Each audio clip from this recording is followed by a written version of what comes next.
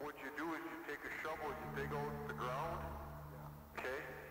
You dig it out like two feet by four feet and a couple shovel lengths uh, deep. You put your bait there